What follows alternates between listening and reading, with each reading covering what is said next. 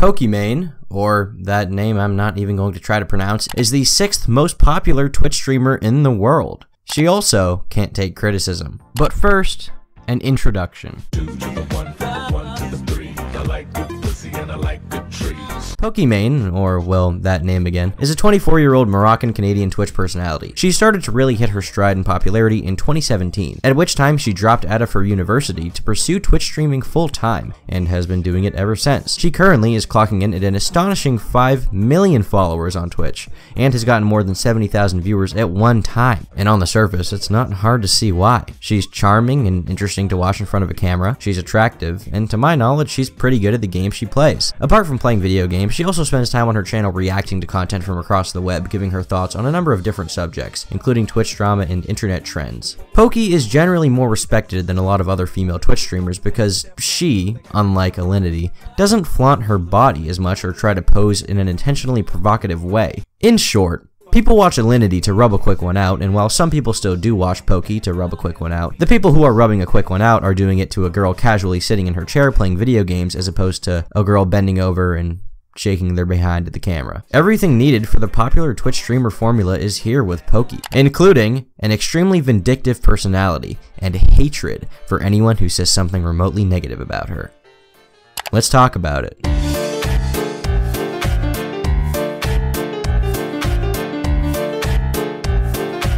Bowblax is a YouTuber who I'm sure you've heard of a lot recently if you spend any time watching YouTube drama related videos. For the most part what he does is put together large summaries of feuds between different internet personalities into these very large and convenient videos that give you a pretty good summary of everything that happened. Over a year ago, Keemstar and Pokimane had a bit of a spat where they were arguing back and forth on Twitter in typical selfie video fashion. And I'm sorry, but I think I'm being very legitimate by not encouraging your kind of behavior, because imagine all content creators just ran around picking on and attacking other people's fans.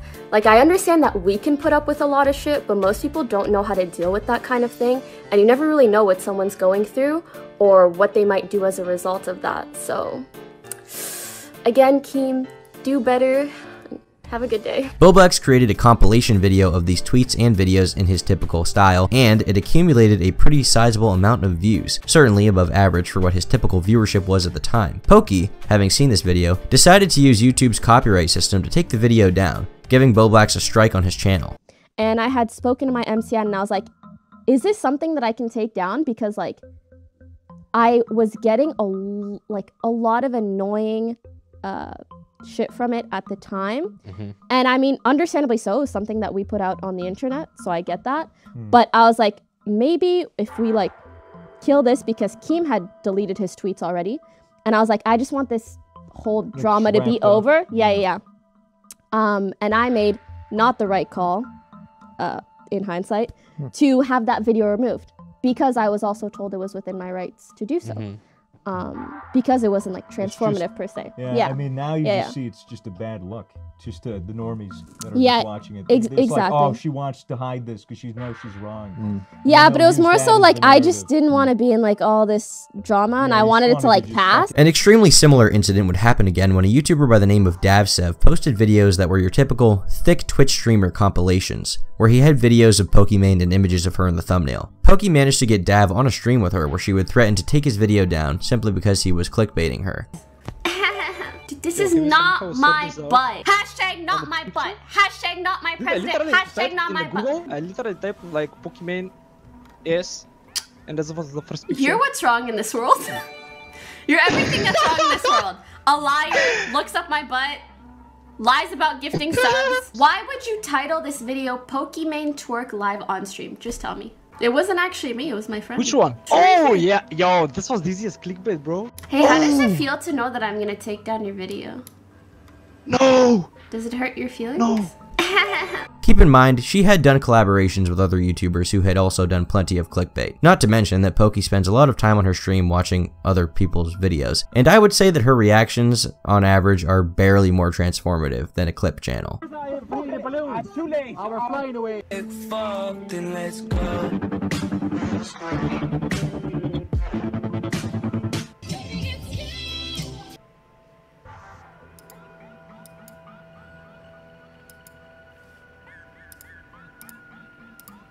super slow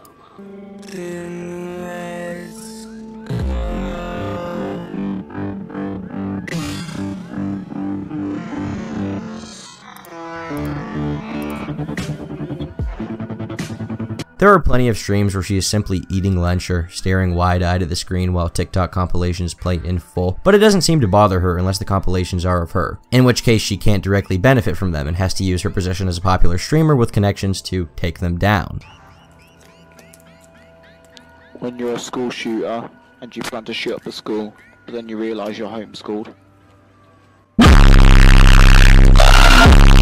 All of these clips put together made her look pretty hypocritical and like she was only using these points against Davsev because they were convenient for her at the time, not because she actually stood behind any of what she was saying. It certainly didn't help that she went on to mock him on stream and encourage her viewers to report his content and have it taken down. Anyways, I'll be taking down some of your videos. Wasn't a good look at all, and a lot of people felt that way. All of this came to a head with a video released by YouTube commentator Fainted, someone who had a very small channel at the time of the release of his video, but would pretty quickly blow up because of it, titled The Dark Side of Pokimane. She essentially collabed with a YouTuber who goes by the name of Shotgun Plays, but realistically he should be called I sound like I'm eating a chicken legend every time I And the reason this is a problem is because by playing with this dude, she essentially was supporting his content, and 90% of the stuff that he uploads is straight up misleading clickbait, so I don't really know what Pokey's doing playing with this dude, honestly. This video accumulated millions of views for him. It garnered him hundreds of thousands of subscribers, and became so prevalent in internet discourse that even PewDiePie talked about it on his channel, painting her as a copyright abuser who was using her position very irresponsibly. Veronica Wang!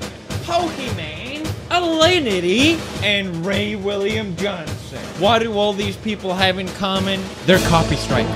That's right. All these people have history of copy striking videos. Pokimane basically had to respond.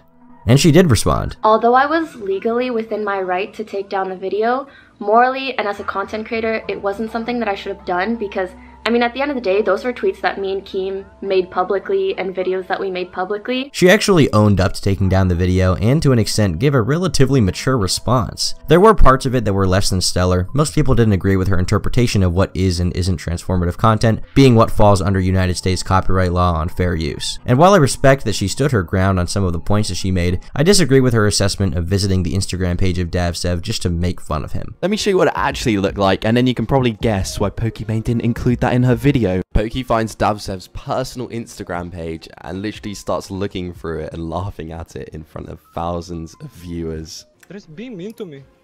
What? Who? Some people. They found my Instagram. Yeah, I found your Instagram too. Ah! Ah! That's me! Why are you wearing your shorts like that? Why are you opening your pictures? Do you feel bad that I'm like... So, um, yeah, that was kind of manipulative, I'm not gonna lie. I don't particularly care if Pokey wants to make fun of this guy, and I don't think that the audience should either. If she wants to make fun of someone for how they look, then by all means, go ahead. But don't be surprised when others do it to you and your fans, and don't back down from what you did when you're called out for it. You made fun of someone, just admit it and move on. People would be much less mad with that than you pretending as if it wasn't what happened. You clicked on his Instagram link, you scrolled through it, you made puke noises at his appearance, it, it checks every box. Just own it. Clearly giving off some great vibes towards this guy and encouraging her fans to send him lots of positive comments, right? Bowblax later managed to get Pokimane and Fainted together in an interview-style discussion, with Bowblax as the mediator. They seemed to hash out a lot of what happened, and this video was sort of the resolution to this portion of the drama. Everyone learned a thing or two, Pokey explained how she felt, Fainted said how he felt and gave her some criticisms. It was good to see some one-to-one -one human interaction between these two people who had been going at each other in videos and on Twitter endlessly. Even if not everyone agreed with Pokimane and what she had to say, they were willing to respect the response and move on from the situation. Until it happened again. It's a Gundam is a relatively popular commentary channel here on YouTube with nearly half a million subscribers. He makes videos about eccentric people, Twitch personalities, YouTubers. He pretty much checks every box for a successful channel that garners an audience simply by sharing his opinion on different topics. He's entertaining, his videos are interesting to watch, it's good stuff. On May 13th, 2020, Gundam posted a video on his channel titled Simp willingly goes homeless for Pokimane, where he talks about some of the most pathetic donors to Pokimane, with one man in particular claiming that he actually gave her so much money that he was hundreds of dollars in debt and went homeless. Oh man. So literally, the guy was already behind in his rent and went homeless to give Pokimane money. It was a pretty harmless and inoffensive video as far as commentary videos go. There definitely were some demeaning elements to it, but it seemed to be mostly done in good fun. Pokimane's like pay pigs are honestly the most devoted of all pay pigs. I used to think DSP's paid pigs were devoted, but I don't think any of them would go homeless to save DarksydePhil. Pokimane would later react to this video on her stream, where she had a pretty negative opinion of Gundam's content. She seemed to disagree with a decent portion of what Gundam had to say, and claimed that the post of the man who supposedly went homeless due to donating to her was actually fake, meaning that Gundam would be spreading misinformation if he took it as fact. And that was all well and good, until she decided to target his sponsors. Anyone would sponsor these shenanigans. Like, what? And I will say, for this company to sponsor a video that's literally 20 minutes of talking shit about me, you will never see. Dude, your website's so ass it won't even load. But if you ever reach out to me, if I ever see you in my inbox, on site.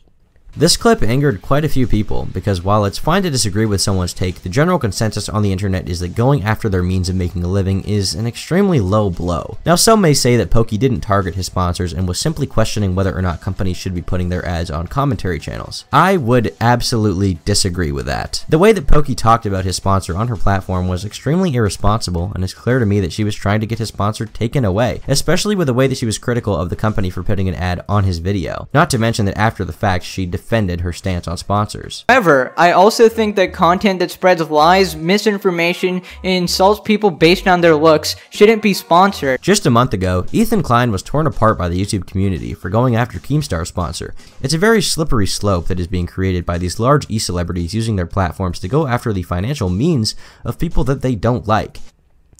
Like, no company should do that just about ever. And many may say that people should just start a Patreon and not rely on sponsors. I would say that's a smart move, but Patreon has also been known to take controversial figures off of their platform. How hard would it be for someone like Pokimane to contact Patreon or simply publicly send her fans after them, demanding that the page of someone who is critical of her gets taken down? The answer is not very hard at all, but just because it's easy doesn't make it any less disgusting. Much like Pokimane's mentality. Oh, uh, is this a video where some random dude behind a VR machine calls a girl a thought for 20 minutes? Really want to put my logo on that one!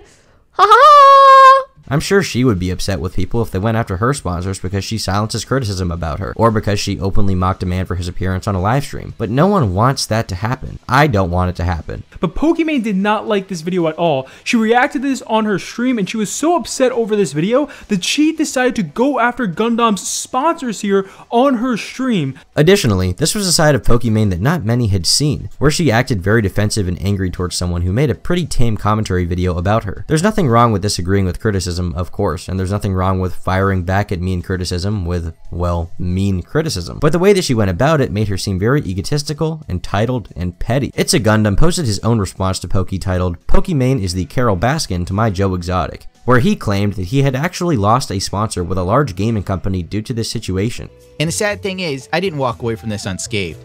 I had a sponsorship kind of lined up with like a big video game company. Let's just say they're big enough that E3 they had their own press conference and special presentations. Yeah, that kind of went. So I hope you're happy, folks. Commentators like Diesel Patches also made videos about this, calling out Pokey for her behavior and saying that she had a vengeful mindset. Pookie menstrual cramps and I think it was very funny. You might think that this is kind of understandable because you might also believe that she was trying to defend one of her fans. If that were the case, I would have given her some slack, but that's not what this is about. In her response video towards this video, she wasn't trying to defend the fan, she was trying to defend herself. Why? I have no fucking idea. The video wasn't even about her. It was about her stupid ass fan. Which I know Poppycock has a problem with when people attack her fans or anyone's fans, but I mean, come on, who goes homeless for a Twitch thought? This actually ended up backfiring on Pokey, and she turned a good amount of the community against her entirely. And unfortunately for her, this doesn't seem to be some case of cancel culture or her just being taken out of context. It's simply a lot of people not liking her behavior, and maybe justifiably so. Throughout the situation, a lot of people seem to feel that Pokey never actually learned from what she had done and was just using her platform to, once again, silence her critics and go after them. I am honestly inclined to agree, especially when you take a look at her responses after the fact.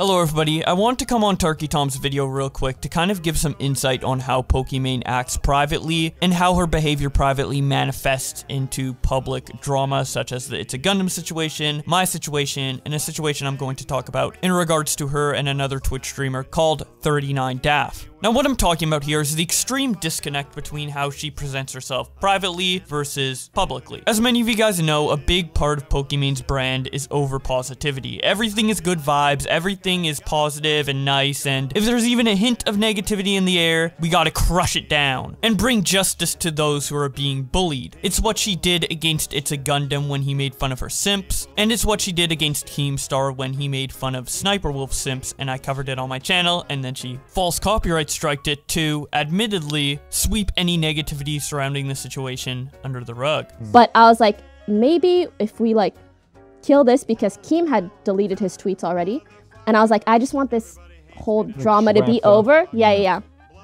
Um, and I made not the right call, uh, in hindsight to have that video removed. And this extreme desire to eliminate any negativity, as well as her own overall self-centered mindset, is what results in these situations where you see her ego coming out, where you see her treating people like shit, never giving anyone the benefit of the doubt, always assuming the worst intentions of people, and just in general being very antagonistic and defensive against anyone she thinks dislikes her. And it creates a scenario that unless you borderline simp for her, she's going to dislike you and think you are an immoral piece of shit. Just look at the It's a Gundam situation. He didn't even necessarily say anything directly negative about Pokimane herself. In his videos, he states multiple times that he actually has nothing against Pokimane outside of what she did to him and was just critical of her simps. Yet she still had an extremely visceral reaction to it to the point of describing it as content that spreads lies, misinformation, and insults people based on their looks. Pretty extreme words for what that video actually was. Let's take a look at her response to this tweet to Kavos. Kavos is someone who's always been pretty charitable to Pokimane. Back in late 2018, he even directly invited her onto his channel in order to explain her drama with Davsev. So I decided I'll hit up Pokimane and just ask her for her side of the story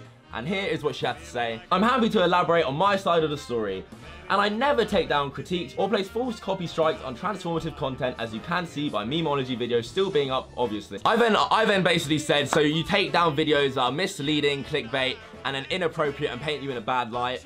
She replied with, yeah, I let people use my clips if it's not inappropriate or misleading, slash a lie. So everything Pokimane is saying right there is absolutely fine. I think she's well within her rights if someone's re-uploading her content onto their channel getting views, if you want to copyright it, if you want to get monetization off it, that is fine. And during this time in private conversations with me, she's always cited Kavos as one of the good drama channels. Yet Kavos makes a simple tweet saying, Pokimane's old Pornhub tab popped up in her stream, and this has caused her to say it's pretty fucking lame that you would blatantly lie like this, and then proceed to block him on both of her Twitters. Now let's take a look at someone who isn't a drama channel. Someone who is another female streamer just like herself. 39daph. Back in November 2019, she decided to simply unfollow Pokimane on Twitter because she already had her muted and wasn't interested in seeing Pokimane's tweets. But this unfollow happened to occur around the same time where she had some drama for unfollowing another streamer on Twitch after she didn't want to see his content anymore, and assumed that Daph unfollowed her to give her a taste of her own medicine during that situation, and proceeded to act extremely passive-aggressive to her in DMs as a result of that.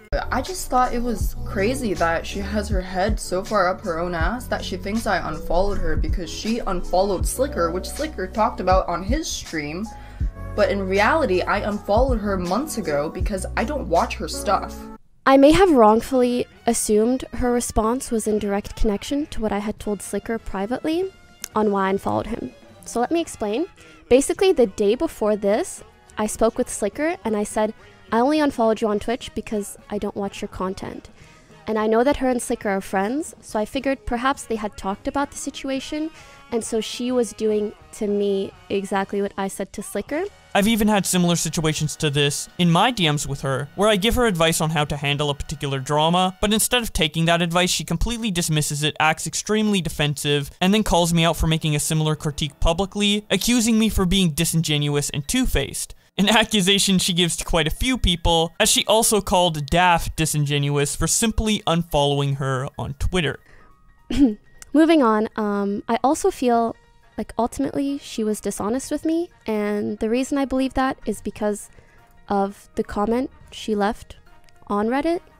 And I mean, it's a lot to read, so I'll just pull up the part I'm referring to, which is just that she said, I gave into pettiness because I don't like what she said to me and done to my friends, and that everyone has to be so hush hush. What I'm trying to get at here is that if you do anything that Pokimane can perceive as something negative against her, which turns out to be a lot of things, I feel like no matter what I say to her, even if it's positive, there's a 50-50 chance she will perceive it as a negative slight against her. She will completely go ballistic, accuse you of all different sorts of things, and indirectly paint you as a villain whenever she goes to talk on podcasts like Healthy Game Gamer GG or Misfits in order to paint herself as the victim. In reality, Pokimane is actually treated a lot nicer than most content creators in her position and of her size. The only difference between her and those other people is that she misinterprets multiple interactions of being directly negative against her when that's just simply not the case. And what's even more infuriating about this is that ultimately, I think it's a projection of herself. A lot of the time she acts nice to you behind the scenes with smiley faces and stuff like that, promising certain things for compensation for the damage she either accidentally or purposely caused you, but in reality she really doesn't give a fuck, and was just doing that to crush any negativity surrounding her name. She's completely out for herself, and will demonize anyone who doesn't simp for her, to the point of calling drama channels less courteous than her. She literally thinks that she treats people nicer than most drama channels. How she can say that after directly going after Gundam sponsors is just mind-blowing to me and completely infuriating knowing what I know. Anyways, that's enough from me. I'll give it back to Turkey Tom. Do I care if she's mad? Not really. Uh, you know, I wouldn't even be, like, to be honest, I could I could see us being friends in like in in in some time if she becomes a likable person. Wow, shit.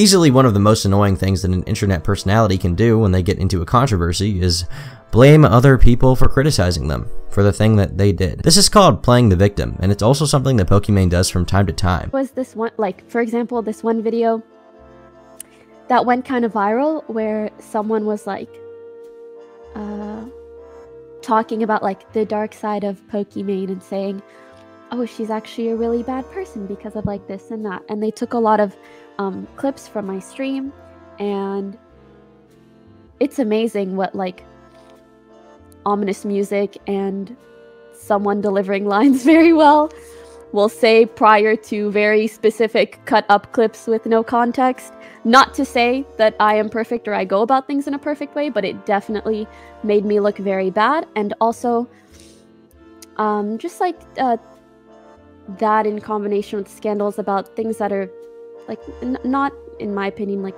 super, super important.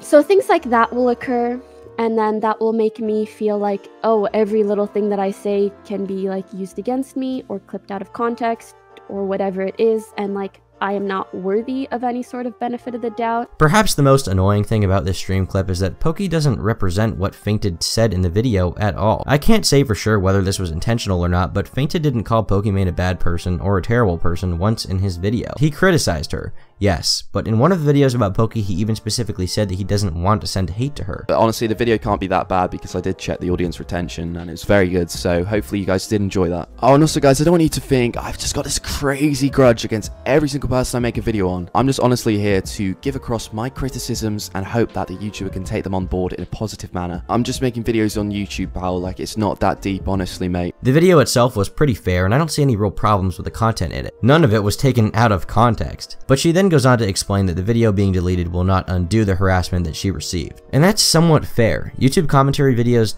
do cause harassment even when they are explicitly created with the intent of not sending anyone to harass the target in question. There's a disclaimer at the beginning of my videos, by the way. Please don't send hate to anyone, but even if I say that, people are gonna do it anyway. I can't control everyone. But I also feel like she's being a bit hypocritical here. If Pokey was absolutely a saint, then I wouldn't care about this clip and I wouldn't be critical of her for it, but she's not. She's been mean to Davsev. Her fans have undoubtedly sent hatred towards Gundam. That is part of internet culture, but she then goes on to complain about it and even cry. I'm sorry, Pokey, but in a way, you're reaping what you sow here. If you go after people, if you make fun of them, you will be made fun of. If you take videos down and target their sponsors, you will be made fun of. Your actions have consequences. That's how the internet works. That's how the world works. And in a way, I feel bad for Pokey because I know how she feels. I know how it feels when a mob of internet people come after you, and sometimes you feel like nothing you respond with will be good enough, or like some of the people targeting you are being dishonest. But I also can't help but feel that she should just be able to ignore those people if they bother her that much. Don't take down the videos, don't be mean to them, don't give them ammunition. Just enjoy making millions of dollars a year as a streamer and everything that comes with that. Just looking at some of the DMs that Bowblax has posted about this topic, it's clear to me that Pokey takes these things pretty seriously and has a very hard time separating a lighthearted joke from serious criticism. Hopefully some of this changes and Pokimane decides to start taking criticism less personally. I, I, I hope she matures as a person. We all have room to grow. But until then, she will be mocked and have videos made on her just like this one. She'll continue to be criticized endlessly by YouTubers and poked fun at for her foolish behavior. It's clear to me that, for now, to Pokimane, criticism is anything but welcome.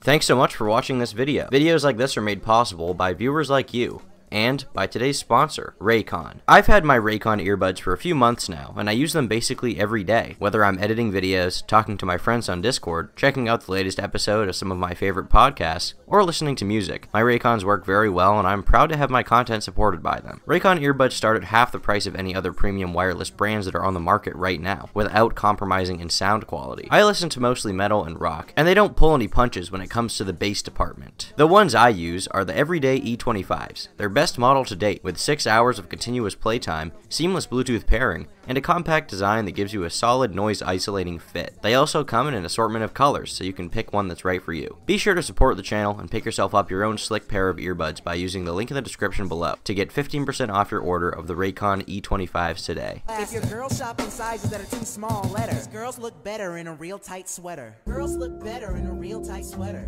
Girls look better in a real tight sweater. Girls look